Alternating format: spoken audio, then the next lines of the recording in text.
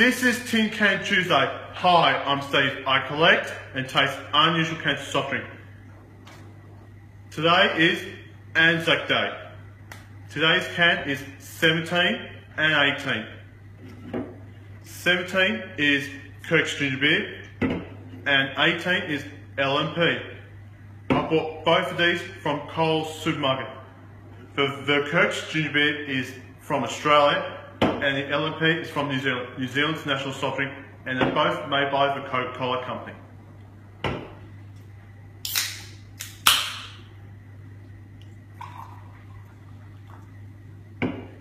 The colour is like a light sandy colour.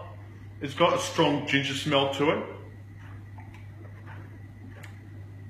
It's got a strong ginger taste with a bite to it. Would I drink it?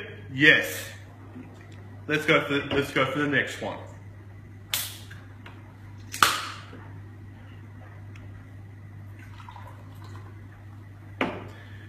The colour is like a, a light white colour but almost clear.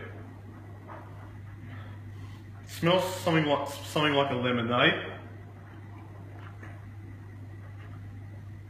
It tastes like lemonade, reminds me of lemonade ice blocks. Would I drink this one? Yes. Look next Tuesday for the next ad. Lest we forget for the Anzac Day. Bye for now from Steve.